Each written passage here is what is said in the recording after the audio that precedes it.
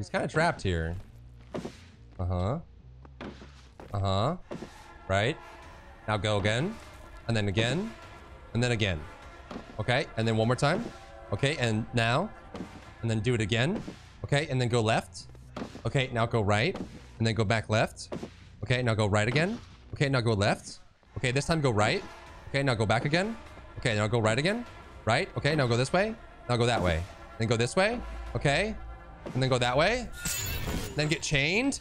And then die. And that's how we do that. We call that the old uh, uh, razzmatazz maneuver. Works every time.